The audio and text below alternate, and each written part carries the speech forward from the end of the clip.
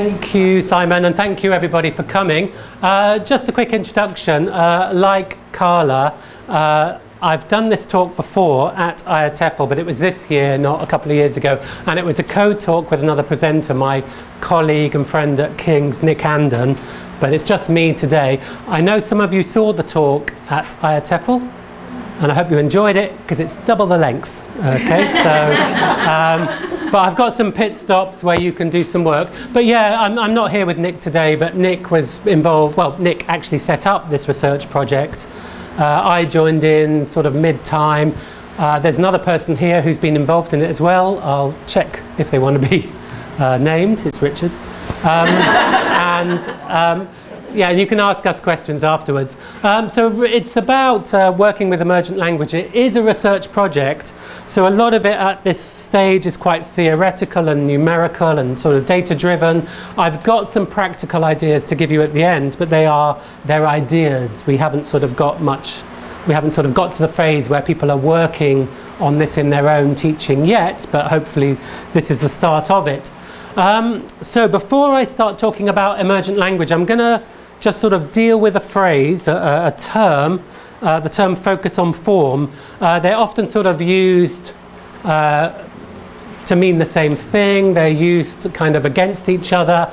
Um, focus on form really is the sort of the, the mix of um, meaningful practice, communication, interaction, and those little moments when you focus on language. Okay, so it's so there's a sort of as as Long. This is Long's quote. There's a brief interjection about form, and those interjections, those forms, are referred to as emerging language. Or, but the thing is, no one sort of claimed the term emergent or emerging language. It's, it's a strange thing. It's kind of out there in the teaching world, but in the research world, focus on form is there. So I'm going to sort of I'm going to be talking about emerging language all the time today, but in the literature it's focused on form. I prefer the term emerging language, partly because it really makes sense to teachers, but also because Long has focus on form and focus on forms. And I think to separate two really distinct things by a single letter is really confusing. And when people ask me what's the difference, I can never remember which one's which. Um, thank you for the slides. Um, focus on form, though, is reactive. That's the key thing to remember. So students are getting linguistic information at the moment that they need it. Okay, now notice the next bit. This is about an assumption. We don't know this, there's not enough research. Um, but the assumption is that acquisition occurs best when you get this information at the moment you need it. So if you don't know the word, you're kind of misforming something, your co uh, interlocutor is the word, or the person you're speaking to kind of makes a frowny face, the moment of need has arisen, and you're kind of ready for the input. Um, and very often, focus on form is used to refer to errors and correction. Um, and very also includes post-task correction as well, rather than sort of moment by moment interactions you make as you're speaking to people. Um, but in a sense, and I like this, Long's idea is you're kind of planting a seed because you can't prove that that little interjection, that moment when you focus on form, has is, is going to lead to acquisition. They're not necessarily going to remember it. Our brains are complex. Two days later, it might be gone. But something is happening. There's a seed, and hopefully it grows. Um, so that's sort of focus on form. Um, when me and Nick are sort of dealing with emergent language or when I talk about it on training courses or my interpretation of it, yes, it's errors. It's errors and communicative breakdowns. So it's a sort of frowny faced moments produced by students. That is emergent language, but it's not just that. Um, it's alternative ways. I've gone for some fancy ways of saying things here, and other ways of saying the same thing. Okay? so, yeah, a, a, word with a similar meaning, for example, could be encoding the same meaning. So, it doesn't have to be an error, it could be another way of doing the same thing. Um, it could be something that the teachers or the learners think is interesting or important. So it might be something you've noticed as you're monitoring or in a kind of private conversation you're having with the student. Uh, you just suddenly think, okay, the rest of the class would benefit from this, so you decide to share or sometimes a student might be the person who decides to share. Interesting or deemed as useful. And finally, it might be a question raised by a student. So it's those little moments where students say things like, oh, what does this mean? Or what's this word? Or how do I say? Those are also emergent language moments. So definitely not just error, uh, though it seems to be sort of dealt with in that sense in the literature. Um, and yeah, I, I, do a lot of reading now in, in my job at King's, and, and what's weird is there is little concrete guidance on how to implement focus on form. So there's lots of ideas on how to do tasks, how to get students talking. There's lots of stuff on error correction, but there's not much on how to focus on emergent language in the literature, and there is very little published research on what teachers actually do. We know a lot about sort of, we can count the kind of uh, error correction moves teachers make, but that's, and we're, we're sort of seeing what's most efficient, but there is very little on what teachers actually do. And that's what Nick set out to do. He got me on board, and, and now there's about three or four, there's three or four of us working on it, and hopefully more even by the end of today. Um, so why do it? Why focus on emergent language? Um, well, firstly, you, will see out there the kind of the debates, the, the positions people take about whether to be really explicit about language or just to sort of communicate and get input. But actually, unsurprisingly, to most teachers working, somewhere in the middle seems to be the most efficient. You know, a little bit of both, a little bit of sort of focus on language, a little bit of communication seems to be most effective. Um, obviously I'm, I'm slightly misquoting the last meta study by, by Kang because they will talk about the fact it's actually very difficult to measure how successful communicative activities are through in terms of acquisition and tests and stuff like that because they're communicative activities. What are you kind of noticing? But a little bit of combination seems to be most effective and we're, we're getting a, a, kind of increased body of evidence about that. So I think if teachers can be better at dealing with this kind of stuff, we'll be able to get more evidence to suggest a little bit of both. Um, and Ellis talked, I mean, and this goes back right back to sort of Schmidt in the 90s and before, that if you're aware of a gap in your existing knowledge, if there's something you can't do or you don't know how to say it, or when you say it, the person opposite you kind of like, what are you saying? You're, you're kind of sensitized to any input that comes your way because of that. And I'll give you an example of this in, in the next slide, or, or a couple of slides at least. and just a little bit, this is more not necessarily about kind of research and results and stuff like that, but actually if you're just getting your students communicating and having conversations and, and playing with language, then you know, they're experimenting, they're expressing their own meanings, they're finding their own voice. That is another advantage anyway. And if you are kind of just working on sort of inputting forms and explicit focus on language and control practice and drilling, you are denying this opportunity to your students anyway. This is actually a belief, and, and these two uh, writers from Turkey are kind of expressing that as well, that when you watch students talking and communicating together, you see really interesting, amazing stuff. So we should be doing it more anyway.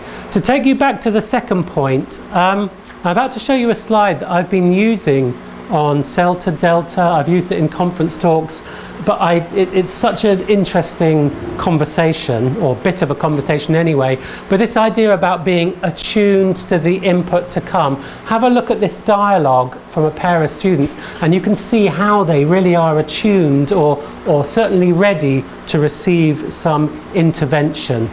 Um, oh, by the way, what it is, is they're discussing their sort of hopes dreams and ambitions for the future. And the future back then was like 2030, so it's by the time you're 30 or by 2030 or something like that. So have a look and just see how ready they are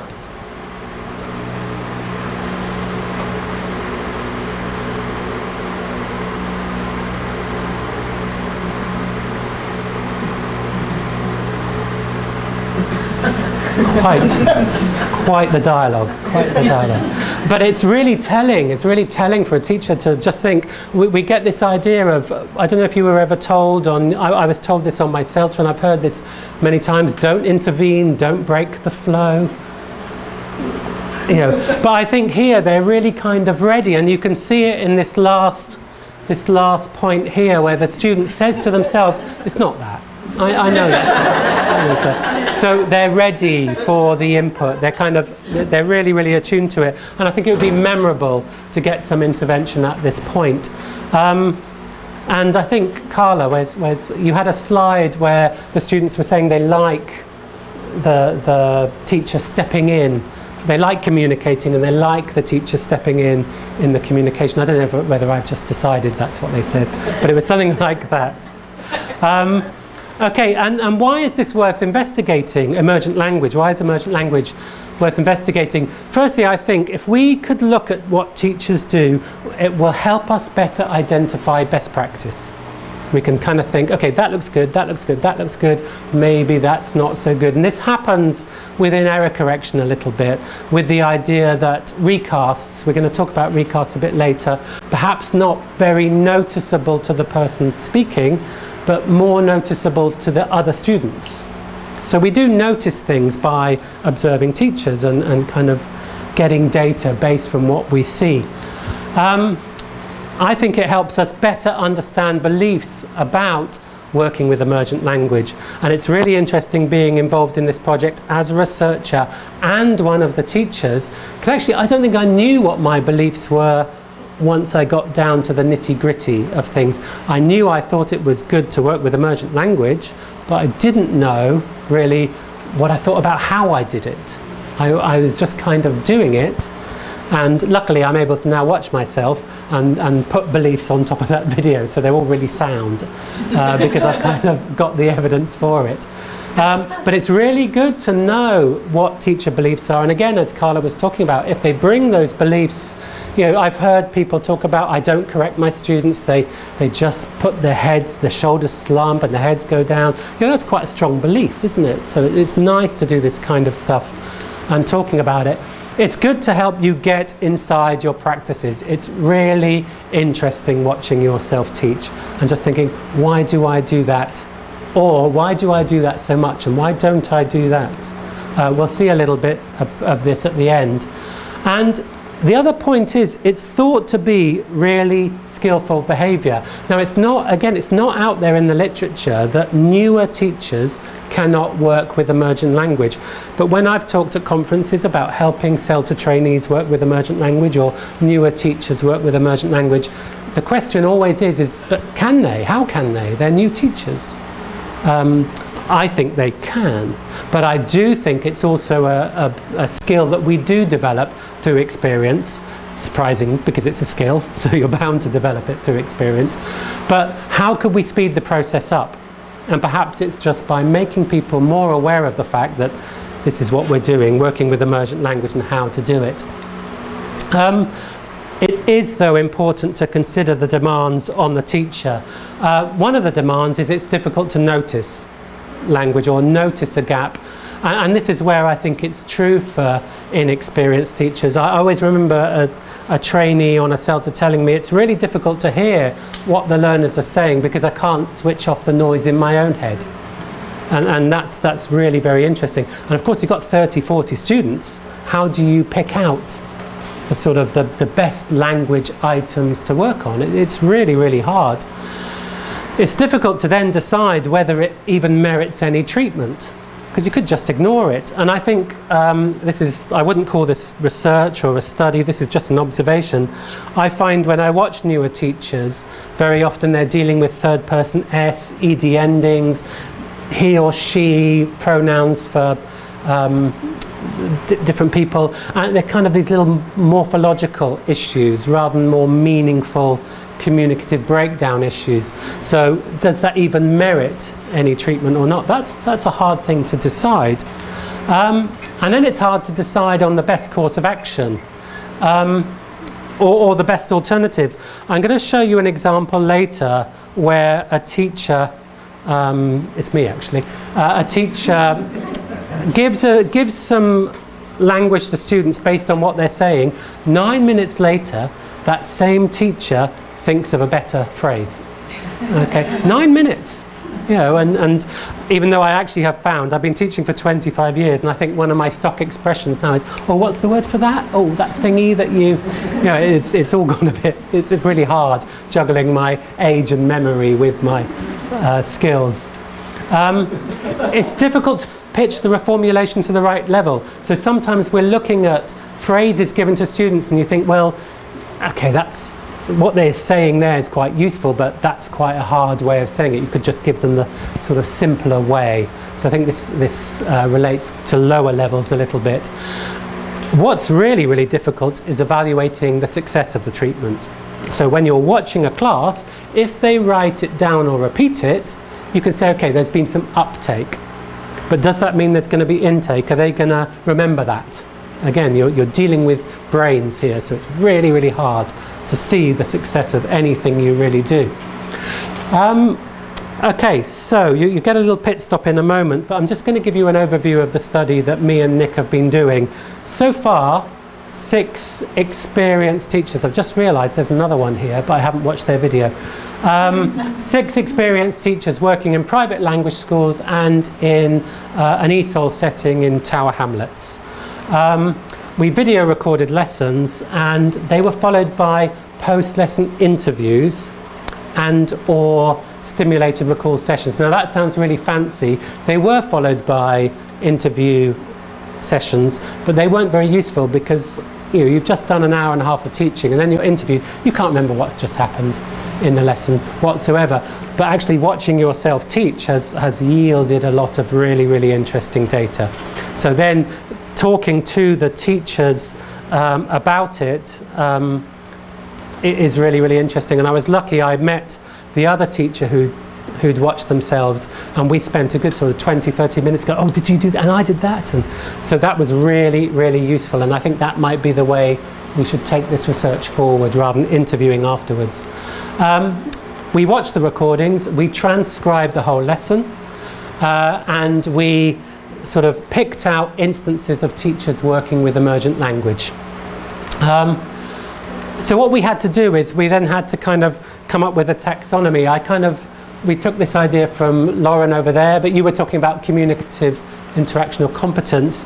There's loads of stuff out there on ways teachers intervene, and there's there's ideas used again and again like recast, but you've got the idea of recast and reformulation. Anybody feel comfortable with the difference between a recast and a reformulation? Yeah.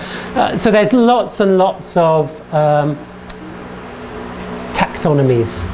Um, and I even chose one from my colleagues, Richard and Mel, who are both here today, from a really, really good blog post. I've, by the way, I, you'll see the uh, bibliography, list of references on the back of the handout I've given you. And all the slides are available on my website, and I'll give you a link to that afterwards. Um, so what we did is we, we looked at all these taxonomies and we created our own one. So I'm, I'm really proud that I'm now the owner, 50% owner of a, my own taxonomy. Um, and I'm going to quickly run through them. I'm not sure how to do I'm wondering whether just to let you, what shall I do? Get, you, do you want to get together and talk about them or shall I just quickly run through them? Quickly run through them. Were you doing it now? Okay, so just turn to a partner. Just have a quick look at that and then any questions. I'll give you about three minutes. Then any questions and I'll make some points about some differences. Yes, you have to read, yes.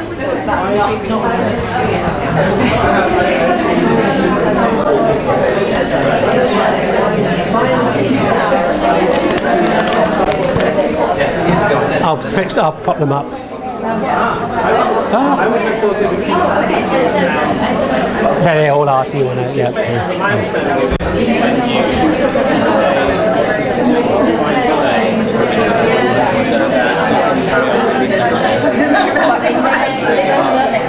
I've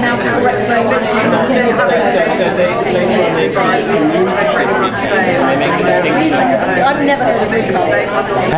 I've never heard of recast. Oh, really? Really? Recast is probably the one that's most in the literature. uh, it's that it's that sort of echo of what the student said, but a, a kind of upgraded version is. But it's called reformulation and it's called recast. But we felt I've heard recast in relation to correcting and reformulation in connection to upgrading. exactly, yeah, yeah. So we've decided to change the parameters because a recast is a reformulation. So it's really awkward to have the two phrases. Unless it's, unless it's Which ones cause a problem for? Well, that's the next activity. That's the next one. Uh, okay, yeah, yeah, yeah. Yeah, you're you're one step ahead of the game. And then I definitely do a dissertation, um, recalls, and sharing. Right, right. But no issues with the terms, no issues with the ideas. No, they're- I they're- read it, no, but I wouldn't have. Any issues with the terms, ideas? Are you happy with those? Yeah, I mean it's it's the most common when people observe. Yeah, well, in the literature it's the most common, so it's that sort of echo of what the student said. Yeah, yeah. Yeah, yeah, yeah, yeah, yeah. Well, the term in the, some people's literature, but we've decided to keep the term. Yeah, because it's, I don't know, it's, I guess it's kind of like, I don't know, why recast? Yeah.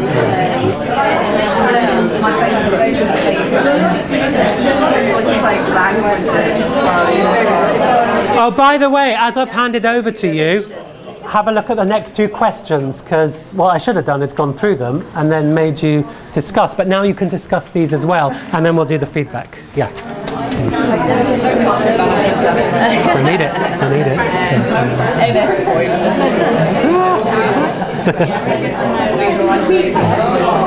so hot.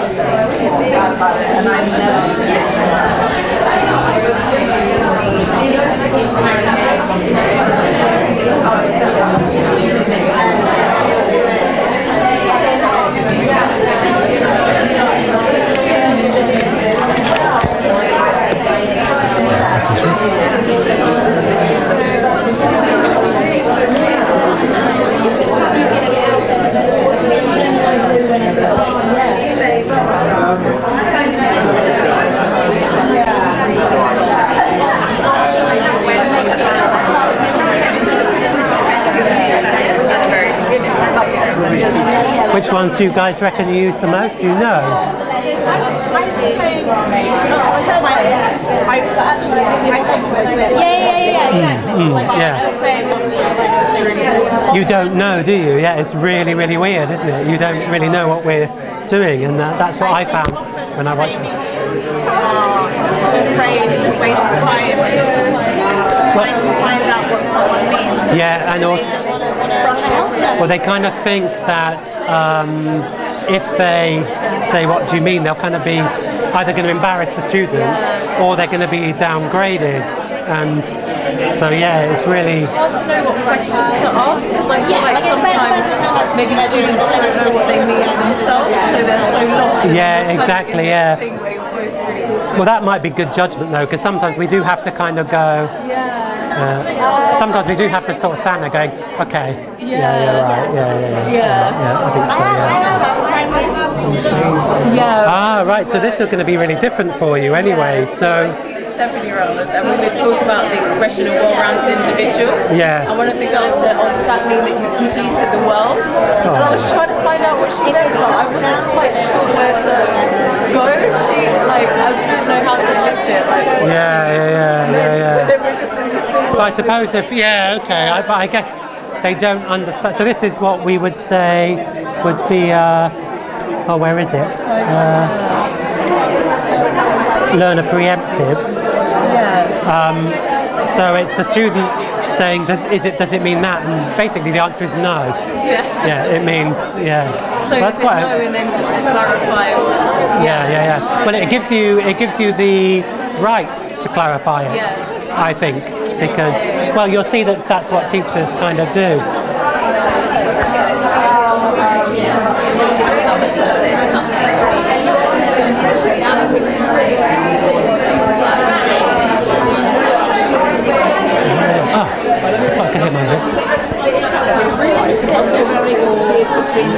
Well, that, that's uh, that's the problem with the literature because it kind of a lot of it says that one is a recast is a type of reformulation, but that's really I mean, it's silly, I suppose, is, is why I have, again, it's like focus on form, focus on forms. So what we've decided, I'm going to say to everyone in a moment, is that we have decided that uh, reformulation is when the, that you and the learner, the learner is aware that something requires a change. Okay. Whereas a recast is it just you say it, and yeah, yeah, yeah, yeah. And the literature does suggest that it's the least efficient and one of the most common.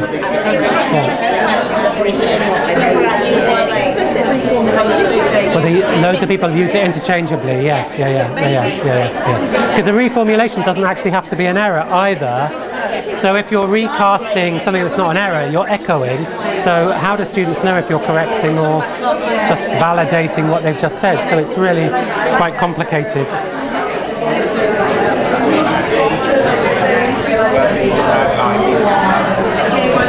Okay, everybody. Okay. Right.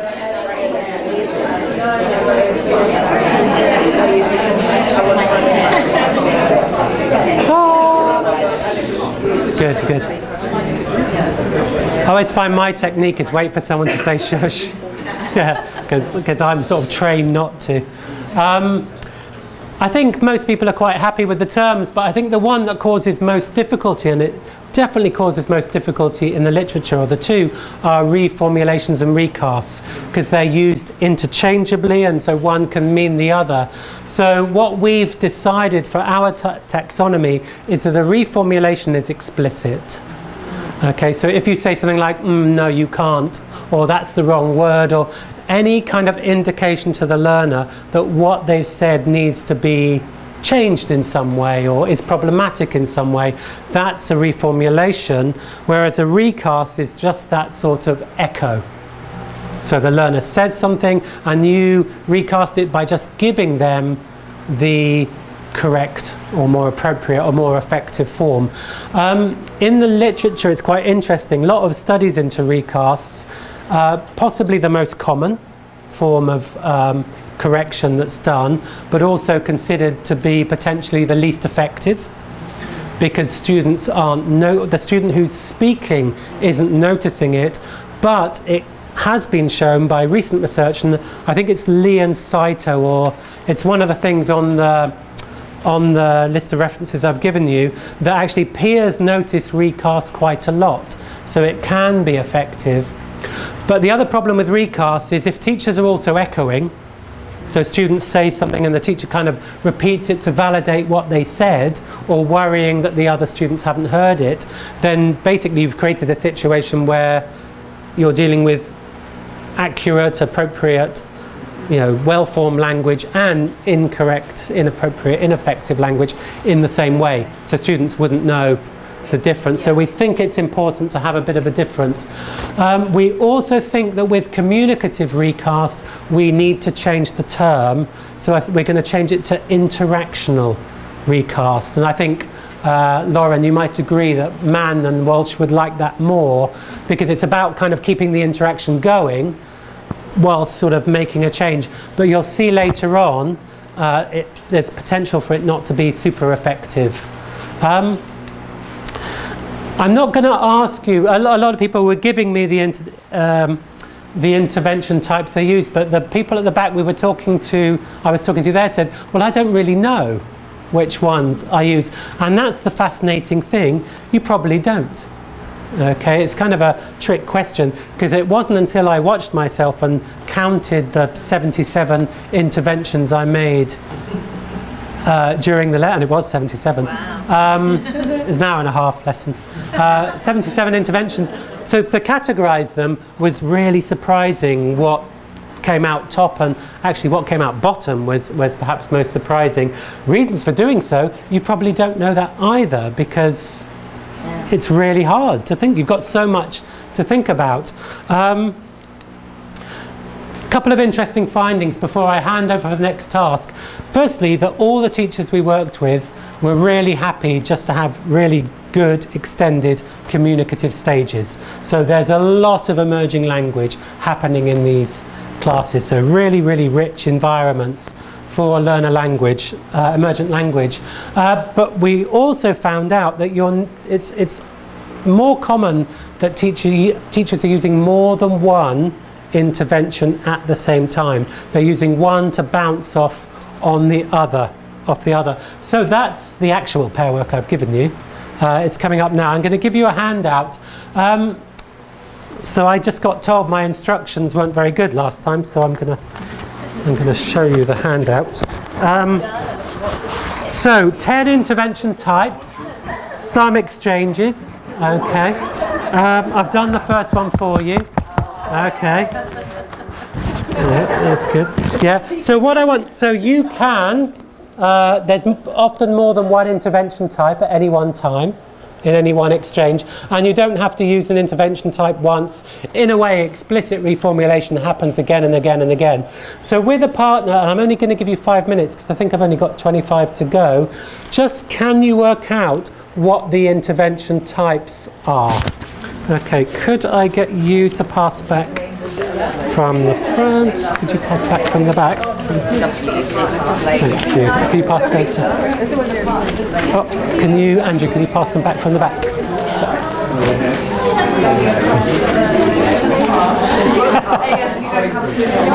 I still rushed them.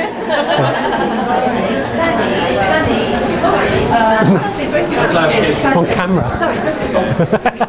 no, it's okay. I'm joking. Is all these in the context of the whole class or in the context of you monitoring or both? This is all, these are all these of what we've seen so far. So these these dialogues have come from uh, a number of observations that we've done. Yeah. But these are the the ten are the only ten we've seen. Okay. Oh, So there are only ten as far as we can see at the moment. Especially if you include translation as Yeah. Fitting in with anything Yeah. but I mean, these I don't- interactions. The fact that it sort of in different classes. When, but when the teacher's monitoring, Uh, okay, sometimes you'll see. So when you get to here, uh, you'll see how this is delayed. okay, Yeah. Whereas this is this is monitoring, this is monitoring. Okay. and others are more open. So it can happen any time in the class. Yeah, yeah. I can maybe point that out. Yeah. mm.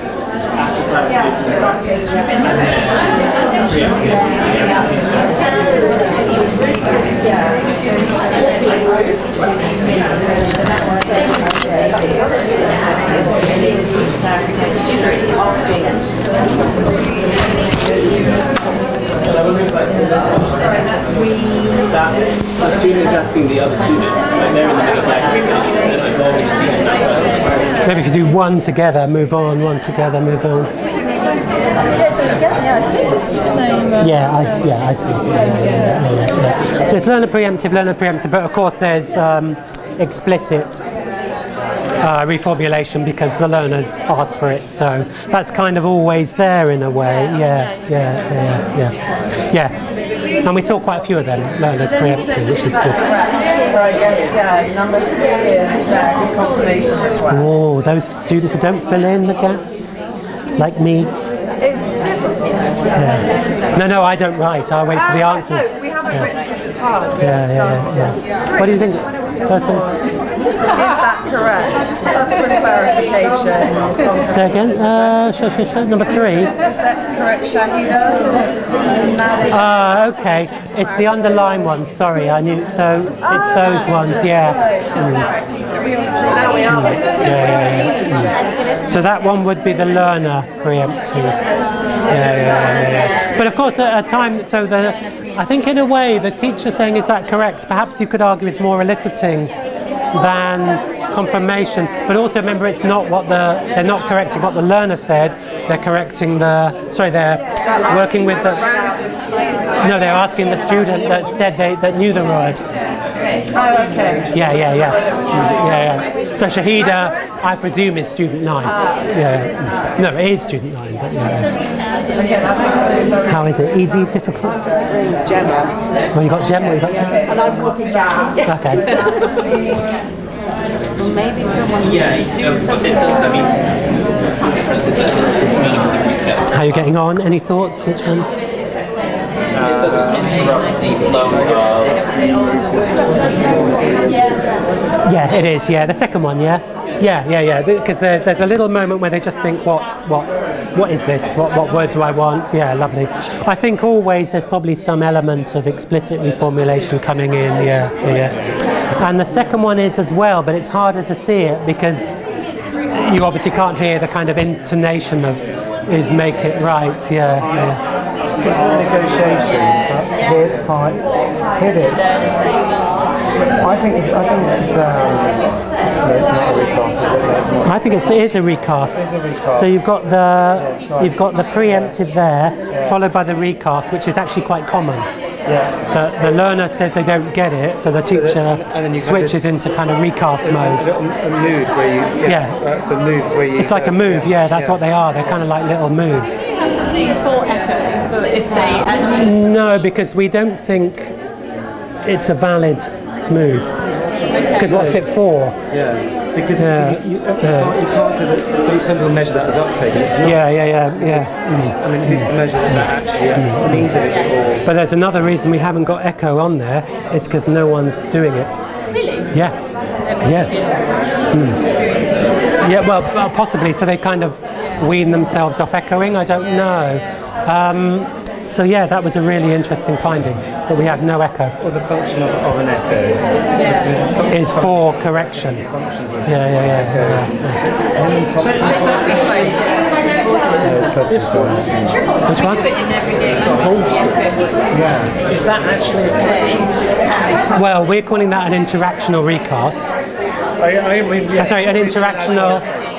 Yeah, but no one's. The thing is, what we notice about that one is no one notices them. So you're kind of reformulating what they're saying, but you're keeping the conversation going. That's because telling you a story that you did the other day. Well, no, exactly, yeah. So it's is the teacher thinking that needs to be corrected? Do you know? Do you ask them about Well, you do, but they're not. It's hard to recall them. Yeah. Or is it the, What do you do in the class with him? like we were doing the conversation, like surprise? Yeah. For the whole school, yeah. So it's hard to tell. So you can't go through each one. So I think that teaches like loads and loads of versions, but they use them quite a lot. So whether they are correcting or not is, is we don't really know. Um, but what they are doing is keeping the conversation going. But what we did find, every time they're doing it, no one's noticing anyway. And actually, in this one, they kind of go, "Yeah, oh, where is it? Until you develop the, The whole school, yeah, not allowed." So they don't even think. So this, this feels because uh, I've seen a couple of things. I did, I did a long time ago, I did this uh, study on people using the board. Yeah. And you know, my, my inclination would be, because I mean, if it was something that I was thinking they got wrong, I would be right on the. Yeah, yeah, yeah, yeah. Continue the conversation. So That's that's what we're. I'm going to show you in a bit how teachers kind of hedge their responses. Yeah, it's, it's surprising how much conversation is. Um, yeah, They're yeah, yeah. basically doing all this all the time. Yeah, exactly. Yeah, and I think no actual kind of highlight conversation things that anyone's saying. the last ones are very highlighted. So any kind of you'll see when they start to highlight. So it, what's interesting is how they see two modes of a lesson.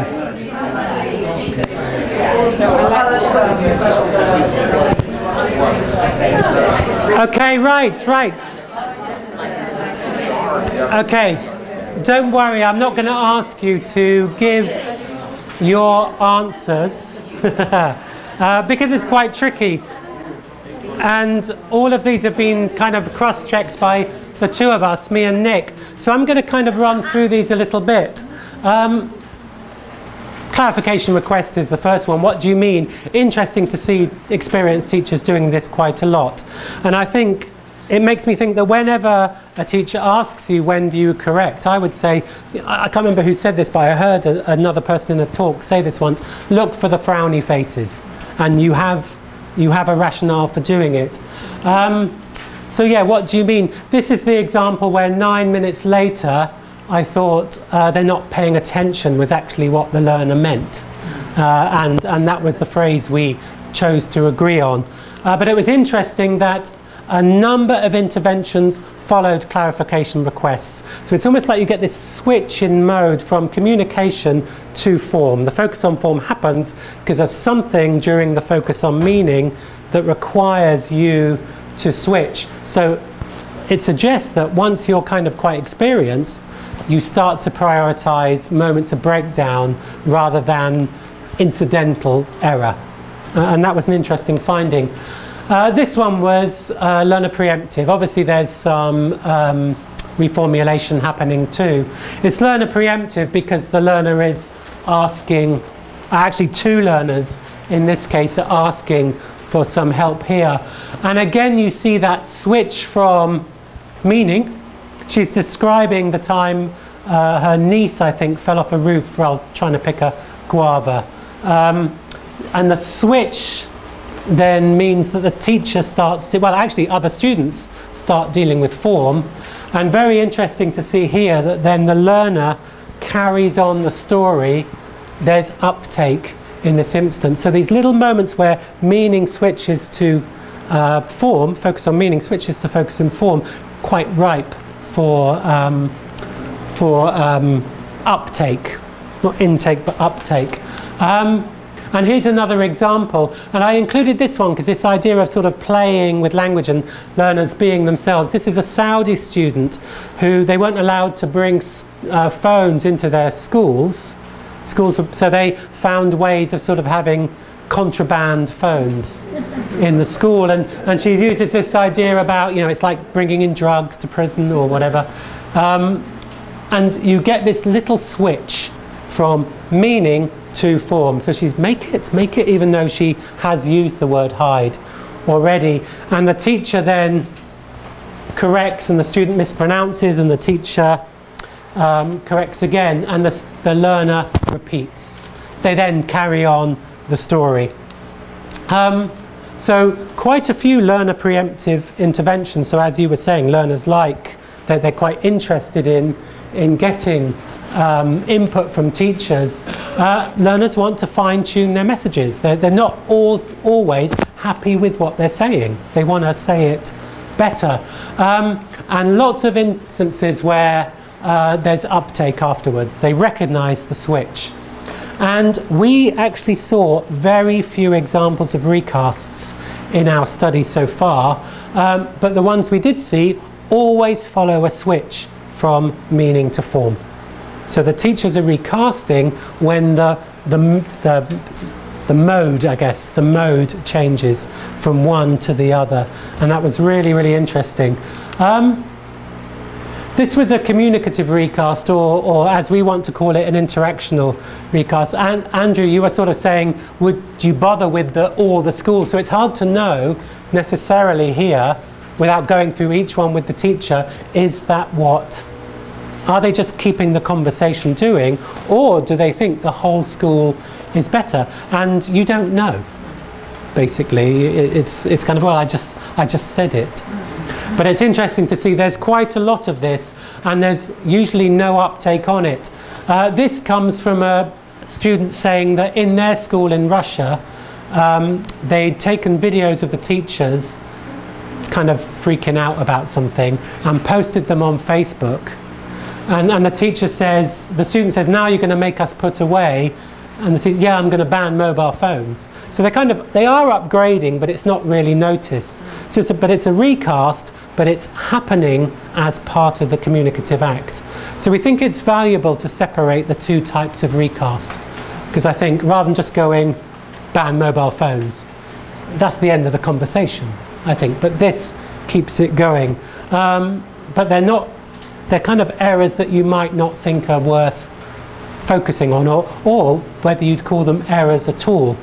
And you'll see later on a very, very interesting finding.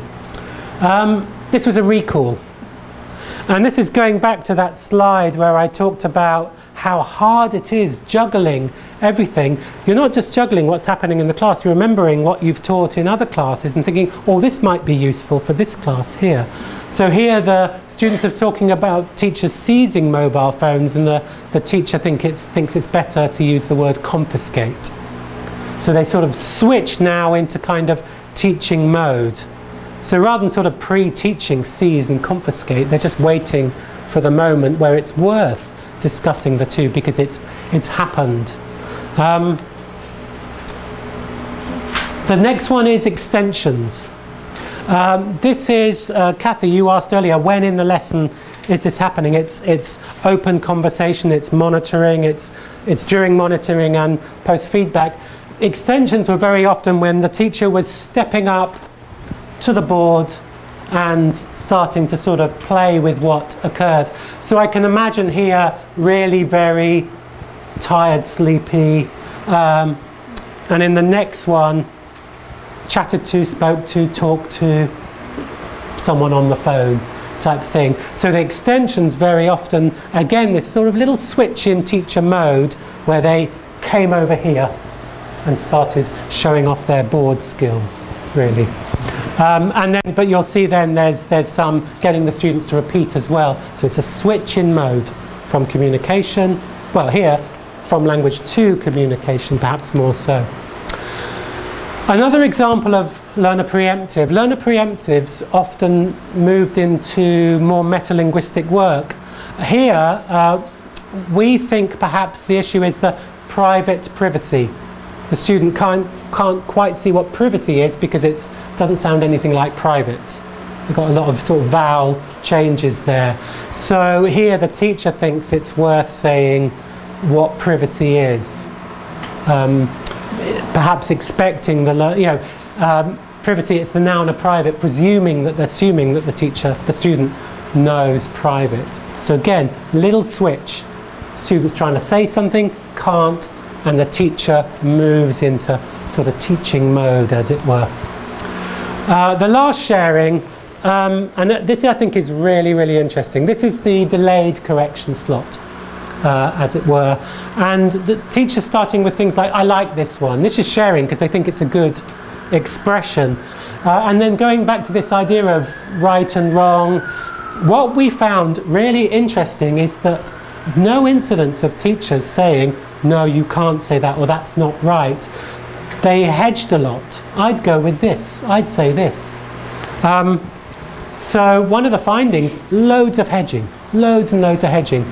So yeah, I'd go with this. For me, this sounds more natural. My colleague Martin Dewey, though, says, who are you to decide what's natural? So actually, it's a really complex area um, because, you know, in a lingua franca context, what is, what is the best, the best way? So again, I think looking for the frowny faces is key. Right, I better zoom on. Um, so here are Obviously it's research, so we've got our calculators out. Uh, this data. Um, very interesting that sort of very often there's these sort of explicit moments where you're you're moving from the communication to the language work and you're being very explicit about it. So right at the bottom of the heap, what studies show to be the most common way of working with errors is actually in what we've seen so far is the least common way. And, and you know, what does this suggest? That the more experienced you get, you, are you basing it on your knowledge of the literature? Do you, have you decided over the years that it's not efficient? That's what we really want to find out. Um, I'm going to ignore that because you hopefully we'll have time in a moment. So, some tips okay, because I, I, want this to be practical. Um, I strongly recommend recording your classes and using this brand new taxonomy um, to observe and categorize the interventions you make. And, and, that's, Lauren, what you've been doing with sort of communicative turns, interactional turns in the, in the classroom.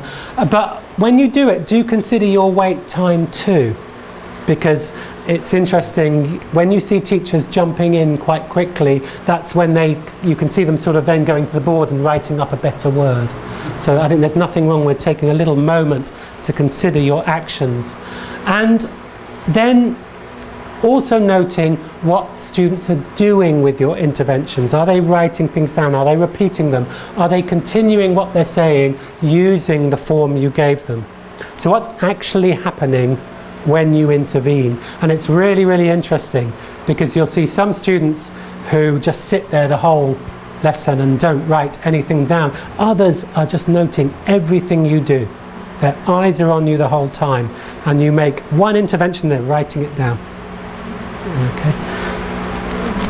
And I think have stimulated recall sessions. Now, I was really lucky that me and uh, a teacher called Richard, uh, different Richard, um, met um, a few weeks ago at another conference and really talked about what we'd found. And we were really interested in the similarities and the fact that we didn't recast. And it was like why not? It's really really interesting. So I would recommend doing this with a peer. So you both video yourselves do the counts or maybe count each other do the counts yourselves perhaps. Um, but then I think or send your recordings to me. Yeah. yeah. I don't want to sound like years and years. Did you watch years and years? You can be data Okay, yeah, put you in there. Okay, um, taking this from Mel and Richard's blog post, I really like this idea of, of what the student said, what I would say, because I think it's really, I don't think it's right for us to decide on standards. Okay, I think when you're working in London, it's a little bit easier because you could kind of think about what's perhaps most common here. But I think if you're teaching internationally in a lingua franca context, what is the more effective term? It's really, really hard to think of. So I think I quite like what I would say because that's that's what you would say. That's probably your your best, most logical, you know, just the right frame of reference, I think. So I think really good idea to record your students doing tasks. Okay, uh, so that then you could do the emergent language work the next day using this template to kind of think about what you would say. And um, yeah, use it to record the reformulations, but also think, do I deal with this one? Is this worth dealing with and how am I going to deal with it? So you're just taking the time to think about the language work you do because uh, it's really hard to do it live. So now you get that little moment where you can do that. So you could do task feedback at the end of the task and then do the sort of language feedback. I think this also puts a, a methodology like PPP back in the game because you always get people talk about the limited time you get for the communicative practice. Well, you could have it and then deal with the language afterwards, so you sort of switch modes that way. Um, an example here, this is a, a, a, newer teacher who did that. They recorded themselves, oh, sorry, they recorded their students doing a task. What stood out for them was obviously the past simple forms, but they also said they'd noticed something that they'd never seen from the students before, that during the interactions there wasn't much, uh-huh, oh, okay, yeah. They were kind of sitting in silence while another student spoke. So they noticed something about their class that they felt they really needed to intervene on. So yeah, they reviewed past forms, but they started to help the students start to sort of listen more effectively and, and ask for clarification more effectively and you know because they were just kind of sitting there while one person talked so you've got these really long pauses uh, a couple of un unanswered questions. We don't know how effective focus on form is. A lot of theoretical stuff. So I've only been at King's full time for about six months, but more research is needed. It's a really frustrating thing to say, but we just don't have enough. We don't know enough about how effective it is. We really, really don't. And how do learners respond? We really need to know more about what is most effective by looking at them. Um, and more perhaps unified tasks as well. What we're seeing is teachers just kind of, if you looked at the boards afterwards, you couldn't necessarily say what the lesson was about. But if you had more unified tasks or their emerging language moments, like six or seven in the lesson, whereas unified tasks you'd have a little bit a little bit more. And task repetition though obviously you've got issues then with boredom and students wondering why they're doing the same thing again. So you could really look at issues of uptake. Um, I do have time for questions, but I just moved from that slide. So, uh, thank you, yes. If you, the slides and handouts are on my website. I've changed it three times today, so I don't, don't know what version's up there, but it's more or less what you saw today. Uh, so yeah, if you want to get the slides, they're all there, and the handouts are there too. Um, five minutes for questions? We've got five? Yeah, five minutes for questions. I have a look. I, am I'm worried it's a stupid question. So sorry. Um, but you mentioned like English is a lingua franca, and I was just wondering if perhaps like, have, do you know if there's much research or if you've done much on whether different contexts of language, different contexts of learning language, different types of um, emergent language dealing with it works. So you know, like ELF versus EFL or academic. Well, there's, there's not much research out there. That's the thing about how teachers deal with emergent language. But when you're looking at research, probably English as a lingua franca context is the richest area. Um, it's, it's a really good area to research because what you're seeing is teachers being able to move between modes. So somewhere like Singapore, where you've got kind of this, this you've got Singlish and you've got this kind of um, this, this English that's considered to be better, you'll see students together will use a lot of Singlish and then when they're talking to the teacher they're using these more standard forms. So what you're seeing is that they're not necessarily, you know, what is an error? It's, it's throwing it up in the air rather than giving us these really sort of important sort of things. Just, I was just wondering with you know things like IELTS in Cambridge where the focus the exam is so much on accuracy. Yeah, yeah, that's From a general English or EL, EFL context, that then something where accuracy is very important. Is there a different way to? Well, you'd have to do the same thing. I guess it would be with the speaking paper. yeah. rather than other input towards reading or listening. Um, but yeah, you'd have to, you'd probably see maybe more explicit reformulations where they're looking at standard forms based on passing an exam. So it would be very interesting to look at IELTS and see what teachers do differently. No, not into IELTS. no, because also it's not really, you're looking at classrooms where you want interaction, as you saw with that Turkish paper, where students are allowed to play and interact, and, and so you really are dealing with what emerges from the communication rather than what is required to pass an exam, because then you're kind of dealing with standards. So it's not really, I mean, I think it would be interesting to see what teachers, how teachers switch modes perhaps, but I wonder if they're more in a kind of teaching mode most of the time anyway. So it would be interesting, but you could do that. Yeah. No, because it would be really interesting. But yeah, yeah, yeah. yeah. Any others? Well, dissertation. Yeah. It's a good dissertation. Really good dissertation. The teachers that recorded for all of this, um, were they aware that you were looking for? Oh. Were you aware of what we were looking for? Yes, you knew it was about emerging language, didn't you? Yeah. Were the teachers who were recorded aware of what they were looking for? So I was. I was.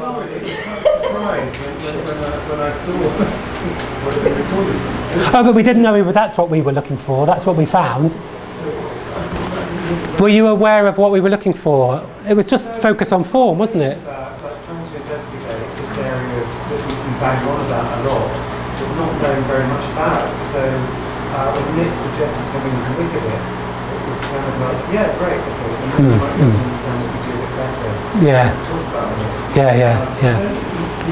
In terms of criteria, No. Uh, but you kind of we just did lessons. But you knew not to sort of do an extensive reading or Yeah, lots of yeah. controlled practice or a writing activity because it wouldn't have.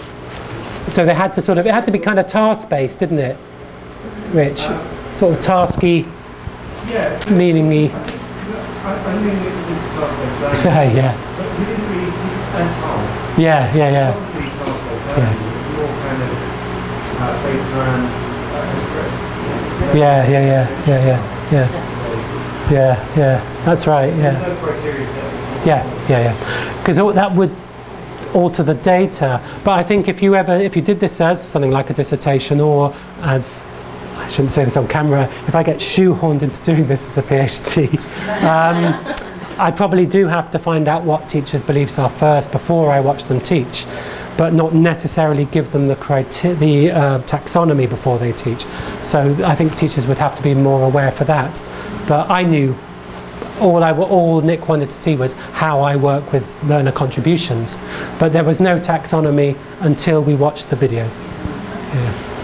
So the taxonomy, there's 10 things because we saw 10 things. Uh, by the way, someone asked me echo. Who asked me about echo? Echo's not on there because we don't see any echo, which is really interesting. So yeah, yeah, really interesting. From for, I can do both. Simon, can I do two more questions? Three more questions? Yeah. Um, I was just wondering if you specifically chose certain levels to, to video and if the results. Uh, they're slightly different. I can put the elementary and intermediate slides up on. Um, I think they might be the version on my website does have both, um, but no recasts are low in both. Um, and I think uh, there's more what do you mean at sort of intermediate type levels than there are at elementary because um, but that could have been because also elementary teachers might be just going huh? so we didn't record the facial expressions but we should have because it's it's it's a clarification request uh, but we've got elementary intermediate and the ESOL class is that mix of they're called elementary in the ESOL but you look at the stories they're telling and you think that's not the elementary I know, yeah. I've got one and one first before. Does that answer the question? Yes. Yeah, yeah. I, I had two and I can't remember my second question. I think the first one was when you, and it's just a thing, uh, when you say recast, so I kind of get the difference between that and explicit reformulation, but I would, I, I would often recast with my face and gesture and intonation to show that an error's being made. so does mm-hmm. that count in the explicit reformulation or not? Well- it's not linguistically there Yeah. so there. So it's not there at the moment because you can't see it. You can't see it because you've kind of got the teacher face on to the students. Oh. So I think any face, a a facial move or a pronunciation move Yeah. would for us be a clarification request. But if the learner's not noticing it, I would see it as a recast. It's really hard to separate them. Yeah, yeah, yeah. But we think if it's explicit, reformulation is a more useful term. Okay. And if it's kind of just there and everyone moves on, Right, so if it's a really targeted recast. yeah, yeah, yeah, yeah, like yeah, quite yeah. Draconian and my teacher yeah. went. Well, well, yes. So grammatical ones are very often not noticed with pronunciation. So I think if, if the teacher's kind of big on pronunciation, I reckon you'll see much more recasts Okay. because the literature does show that pronunciation recasts are noticed more than any other type. Hmm. Yeah. yeah. Yeah. Did you have a question? I do have a recast oh, of face. Yes, you're right. Recasting. Oh my god. I mean, they know what's going on. You know, You okay? Cara, do you? It's very good. The reading and.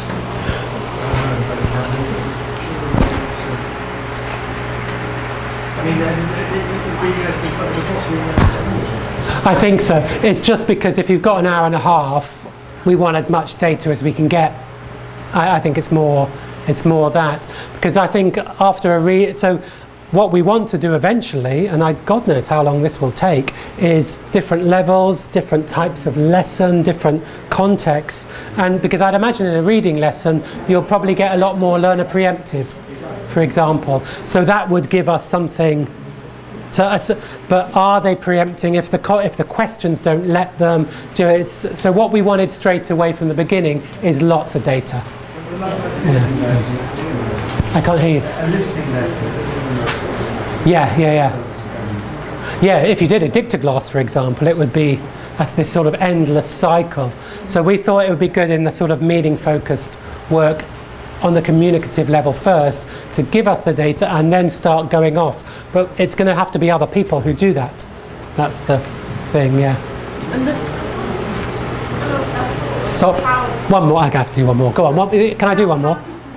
Simon, can I do one more? One more. Yeah, how do you, I think one of the skills and experiences teachers is actually understanding what a student is trying to say Yeah. in order to be able to do pastoral and Yeah. And I think that's one of the hardest things mm. Yeah. for teachers to do because they just don't understand Right. what they're trying to say. They don't know how to So on training courses, it would be really good to use this data to show students that it's saying, what do you mean, is a really powerful move. Mm. And so I think new teachers are often afraid to do it, so they kind of go, yeah, yeah, or I'll tell you later when a student asks a question. So if they see, so that's this idea of, I had it on one of the slides of feeding into best practice. I think that's where this has an impact, is that new teachers have to see that it's okay to not understand, or to at least stop pretending that we understand. Because we've, we've got the sort of accent repertoire and the, we've heard students just say the same stuff again and again and again. So just go, yeah, yeah, you're right, yeah. But really what we should be doing all the time is going, sorry, I don't, what you're saying, even if we do, because we think maybe other people don't or, or wouldn't out there. So I, I better stop. So uh, yeah, I've gone over. Yeah, sorry.